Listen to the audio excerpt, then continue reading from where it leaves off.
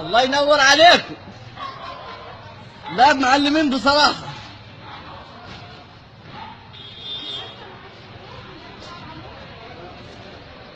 ضربة معلم بيد يعني.